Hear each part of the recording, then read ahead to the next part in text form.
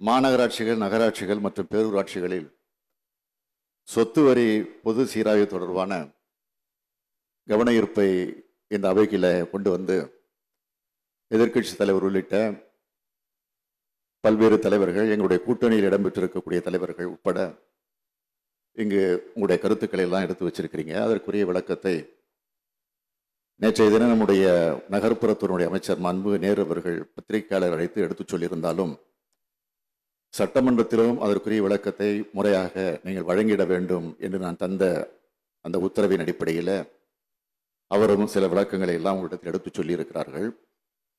எனவே நான் அதிக நேரம் எடுத்துக்கொள்ள விரும்பல. சுருக்கமாக நான் தெரிவிக்க விரும்புவது இந்த சொத்து வரி உயர்வை இந்த அரசு மனமுவந்து செய்யலை. நான் மனப்பூர்வமாக அதை இங்கே சொல்லுகிறேன். ஆனால் உள்ளாட்சி அமைப்புகளுக்கு நிதி கிடைக்காது. என்று கூறுகிற போது அதை சமாளிக்க வேண்டிய கட்டாயம் இந்த அரசுக்கு ஏற்பட்டது. ஏனென்றால் முன்பு உள்ளாட்சி அமைப்புகளுக்கு தேர்தல் நடைபெறவில்லை. மக்களுடைய வளர்ச்சி திட்டங்கள் எல்லாம் தேக்க நிலையை அடைந்திருந்தது. மாநகராட்சிகள் உள்ளிட்ட உள்ளாட்சி அமைப்புகள் வருவாய் பற்றாக்குறையால் மக்களின் அன்றாட தேவைகளுக்கான பணிகளை நிறைவேற்றுவதிலே கூட பல்வேறு சிரமங்கள் ஏற்பட்டது. அதை சோதனையாக சந்தித்து கொண்டிருந்துச்சு. ஆனால் இப்பொழுது அனைத்து கட்சிகளின் சார்பிலும் உள்ளாட்சி அமைப்புகளுக்கு மக்களுடைய பிரதிநிதிகள் தேர்ந்தெடுக்கப்பட்டிருக்கிறாங்க. அந்த உள்ளாட்சி அமைப்புகளை பொறுப்பேற்றிருக்கக்கூடியவர்கள் அரசிடம் என்ன எதிர்பார்ப்பார்கள்? அங்கு ஆற்ற வேண்டிய பணிகளுக்கு திட்டங்களுக்கு நிதியை எதிர்பார்ப்பார்கள்.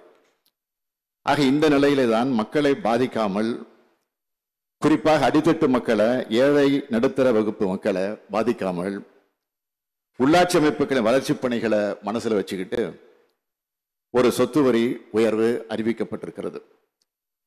மக்களுக்கு பாதிப்பு ஏற்படக்கூடாது என்பதால் தற்போது நடைமுறைப்படுத்தப்படக்கூடிய சொத்து வரி சீராய்வில் கட்டிடங்களின் பரப்பளவிற்கு ஏற்றவாறு பிரித்து வரி உயர்வு செய்யக்கூடிய திட்டம் இதில் அறிமுகப்படுத்தப்பட்டுள்ளது. தமிழ்நாட்டில் நகர்ப்புறத்தில் மொத்தம் உள்ள குடியிருப்புகளை பொருளாதார அடிப்படையில் பார்த்தால் எழு எண்பத்தி மூணு விழுக்காடு மக்களை இந்த வரி விதிப்பு பெரியதாக பாதிக்காது என்பதுதான் உண்மை. ஆகவேதான் பத்திரிகைகளும் ஊடகங்களும் கூட இந்த அரசினுடைய இந்த முயற்சியை பாராட்டி கொண்டு தான் இருக்கிறது. அடிப்படை வசதிகள் செய்து கொடுக்கக்கூடிய கட்டாயம் அதற்கு நிதி ஆதாரம் அவசியம் தேவை.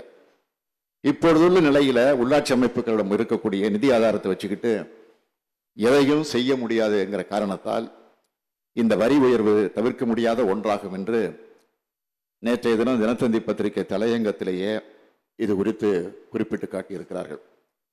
பேரவையில் அமர்ந்திருக்கக்கூடிய மாண்புமிகு உறுப்பினர் அனைவரையும் நான் இந்த அரசின் சார்பில் பணியோடு கேட்டுக்கொள்ள விரும்புவது கட்சி வேறுபாடின்றி நான் சொல்ல விரும்புவது அரசின் இந்த முடிவுக்கும் மக்கள் நல திட்டங்களை வளர்ச்சி திட்டங்களை உள்ளாட்சி அமைப்புகள் நிறைவேற்றிடவும் நம் மாநிலத்தினுடைய ஒட்டுமொத்த வளர்ச்சிக்கும் துணை நிற்க வேண்டும் என்பதுதான்.